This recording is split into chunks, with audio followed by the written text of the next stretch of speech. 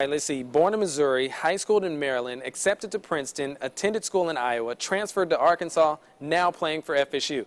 That's the cliff notes for point guard Jeff Peterson. But as our own Jason Kahn explains, JP plans on making life at FSU a bestseller.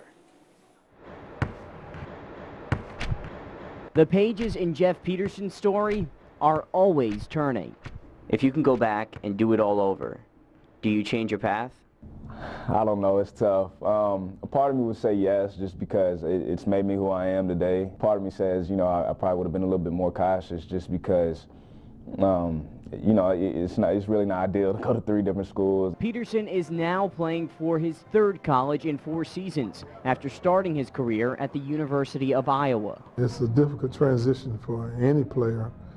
Uh, they've been in a couple other systems, and then you transfer and you got to learn uh, a new system. Peterson graduated from Arkansas with a bachelor's degree and had one year of eligibility left. Instead of waiting for schools to call him, Peterson contacted Florida State to enroll in the College of Business to pursue a master's degree in marketing while playing for the Seminoles. Pamela Peraway has monitored the progress of Florida State student athletes for 25 years. But for them to finish their degrees and to be able to go on to a master's program is, is even more rare. The Missouri native is one of two graduate students on the basketball team. He knows what he wants, and that's why he came to Florida State to hopefully get an opportunity to, you know, advance the NCAA tournament and, and have a successful last go-around. I said the thing that, that brought everything together each time I did move was basketball. It was really unique how this whole thing worked out.